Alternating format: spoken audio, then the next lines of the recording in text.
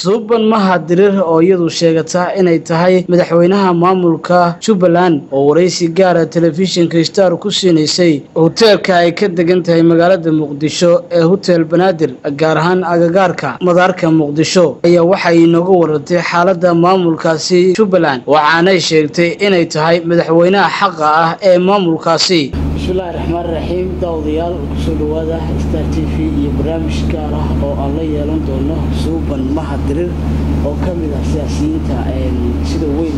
Inta badan uga hadla xaalada siyaasadeed ee ka taagan jubbaland bal ugu horey suuban soo dhow. Waa mahadsantahay star t v? Waa dhawaayo koley xaalada jubbaland waad la socotaa. Inta badan waxaa ku doodaa inaad tahay madaxweynaha dibad wareega jubbaland. Bal arrimahaas iyo naga hor xaalada jubbaland. Horta run ahaan waxaan rabaa inaan maanta si saxa idinkugu qeexo. Kumadooda inaan ahay waxaan ahay madaxweynaha saxda ah sida xorta iyo xalaasha maanta jubbaland uga jira. Haddaan raba inaan idin haddii siyaabaha aan idinkugu caddaynayo waxay tahay axmed madoobe markii uu isdoortay waxay ku tilmaameen aniga kelmaddaa ma oran waxaa ku tilmaamay inuu isdoortay dowladda federaalka. Wasaaradda arrimaha gudaha waxay soo saartay wixii halkaa isku doortay dhan axmed keliya maaha. Labadii kaloo isdooratay wixii halkaa isku doortay dhan inaysan sax ahayn. Sidaa la adligeed mar walbana waa sheegaa dowladnimo waa saddex nooc. Sida qofka uu hogaamiye ku noqon karo waa saddex qaybood. Waa iyadoo maxaa la dhahaa la doorto oo ay baarlamaan doortaan. Iyo iyadoo boqortooyo lagu imaado. Iyo iyadoo kacdoon shacab lagu yimaado. Aniga waxaan ku imid kacdoon shacab. Kacdoon baa ka kacay degaanadii jubbaland oo idil. Sidaa la adligeed maadaama uu dastuurkana siinaya inaan masiirkeenna ka tashanno maadaama ay fashilmatay wasaaraddii arrimaha gudaha oo federaalkana aysan keenin habraac kaloo la maro. Axmed siduu isku doortayno lagu tilmaamay si khaldan inay tahay.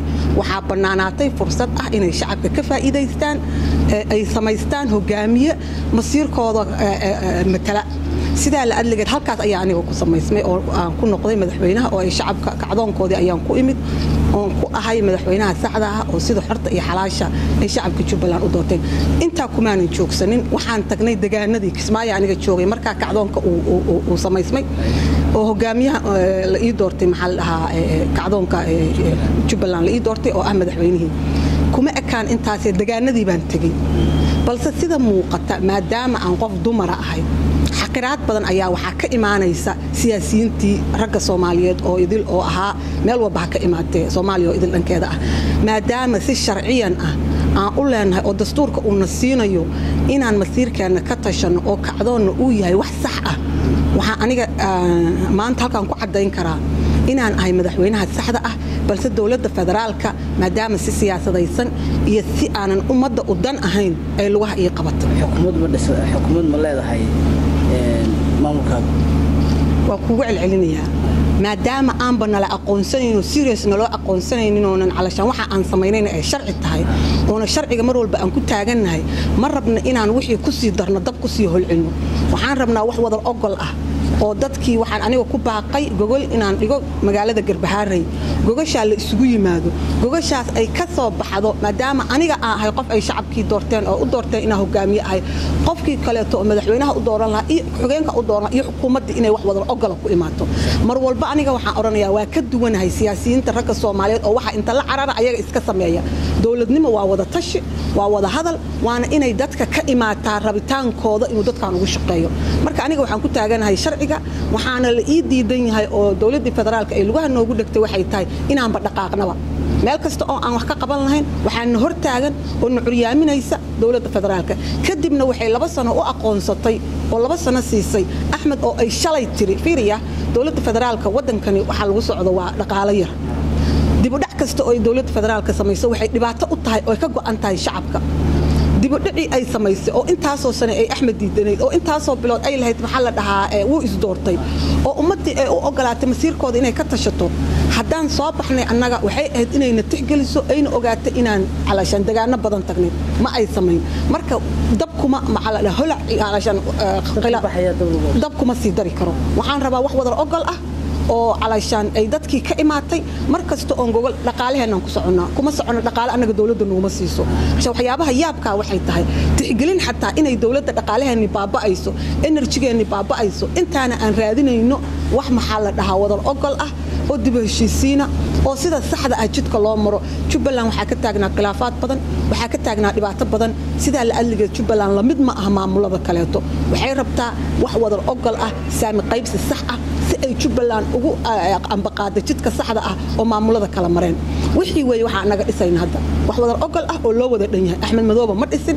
Axmed waxyaabaha keliya on ku tixgelina waxay tahay wuxuu dhisay maamul waxyar dhaho yar jubbaland wuxuu ka hirgeliyey maamul kismaayo keliya ka jira. Meelihii kaleetan waxyaaba yaryar ay ka jiraan. Waa ugu mahadnaqaynaa intaa marnaba ma dhahayno laakiin khaladaadka iyo dhibaatada jubbaland maalin ilaahay keena dagaal sokeyaa ka dhacaya. Dhibaato ayaa ka dhacaysa. Waxaasoo dhan waxaa keenaya oo sababaya waxay tahay saami qaybsiga oo khaldan. Saami qaybsiga si kasta haddii sida uu yahay xataa lagu dayn lahaa waa inuu dadka ka imaadaa.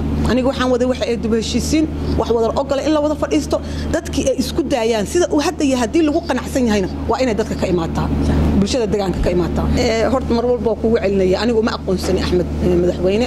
Dowladda federaalka ayaana tiri madaxweyne ma aha mar ahaantaana labadii sano ay siisayna wuu diiday. Marka marna fariin aan aniga axmed u dirayo oo axmed aan halkaan kala hadlayo ma jirto.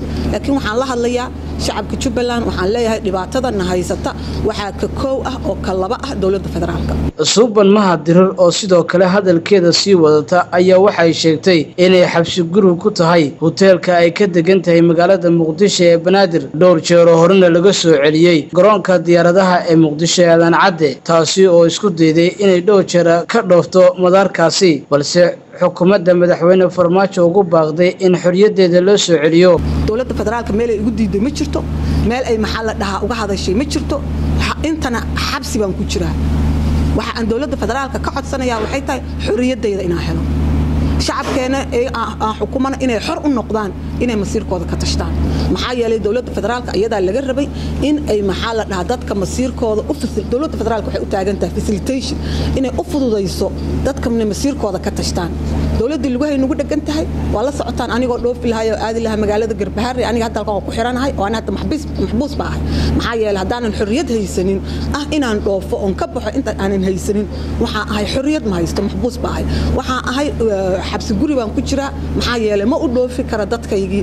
Wixii dad ilamidoo badan baana jira. Marka waxa dhibaatada nagu haya waa dowladda federaalka. Wax waxii dhacana eedeeda waxaa iskale dowladda federaalka. Kolley iminka fariin badan baad halka dowladda federaalka ku dirtay inta fariintooda weli maadaama muqdisho ku sugan tahay madaxweynaha soomaaliya maxamed cabdilaahi farmaajo siyaasiyiinta iyo baarlamaanka weli ma isku dayday oo ma kala hadashay arrinta fiiri dowladda federaalka ayaa u shaqaysaa. Haddaysan ayadii tixgelinaynin intaasoo fariinoon diraya aysan tixgelinaynin qof sarajooggaaga qof maxaa dhahaa fadhigaaga u jeedo looma sara joogsado haddaysanba ayagii tixgelinaynin oo layga celinayo eeraboradii layga celinayo. Bixitaanka aan baxayoon ayaga u tegayoon raadinayo waa dhibaato kale. Ma fahamte waa suicide waa anigoo maxaa la dhahaa eeraboorkii baa la ii diidan yahay. Tegitaanka xagga ugu tagan waxyaabo kaloo dhibaato igu dhacaysa. Aniga halkaas baa maxbuus ku ahay. Securitygaygii baa carqalad ku jirta. Marka waxaan maxbuus ku ahay waxay tahay meesha aan deganahay. Si maxaa la dhahaa dadkayga aan wax ugu qabtana warbaahintaa mar walba la hadlaa. Marka mar idaga allah idaga mar laha idaga saan haysdagay ayagaa iigu sheekeeyay inaan bixi karo? Waxay dhaheen waa bixi kartaa aeroboorka waa ka dhoofi kartaa. Labadii gooroo aeroboorka ka dhoofayna wixii dhacay waa loo jeeday waxyaabaha ugu yaabka badan waxay ahayd ayadoo aan dadkii leeyahay xataa shacabkii soomaaliyed inay noqdeen dad aanan hankoodii iyo maxaa la dhahaa calashaan damiirkoodii la baabi'iyey ayadoo si qaldan la ila dhaqmaya dadkii waxaan leeyahay picture iga qaada qof ku dhacaa la waaya aeroboorka waxaana joogta almost intaasoo qof oo ku qalaad marka dowladda federaalka eedda koowaad eedda labaad eedda saddexaad waxaa iska leh dowladda federaalka. Axmed madoobe meeshaan ma joogeen waxa axmed madoobe meesha ku haya oo dhibaatadan dhan u sababa ah waa dowladda federaalka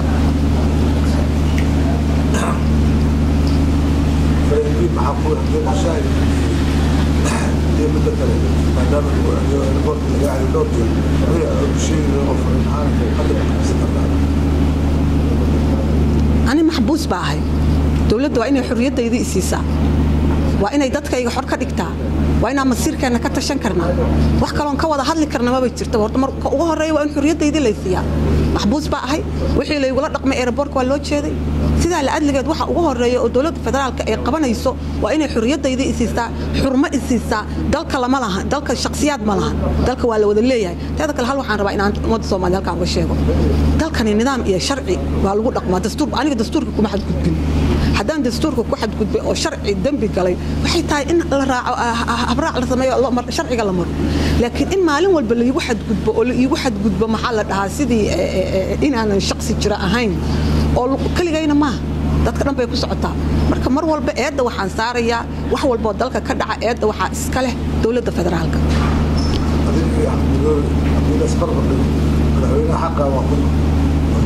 Mar sheegaa anigaa xaqa ah fiiri waa kuugu celceliyey waxaa fiican in ummadda soomaaliyeed waxaa fiican miiriha inuu shacabka confuse ka dhiga maaha waxaan idhi dowladda federaalka ayadaa samaysay oo tiri axmed ma aqoonsanin ayadaa tiri habraacuu maray waa khaldan yahay ayadaa tiri wixii halkaa isku doortay waa khaldan yihiin.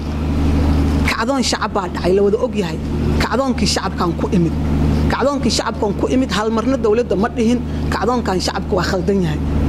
Oo sharci maaha ma oran. Meelay nagu diideen ma jirto. Sidaa la adligeed baan sharci ku nahay. Aniga cid diiday oo waxay aan soo sameeyey intaasoo sano diiday ma jirto.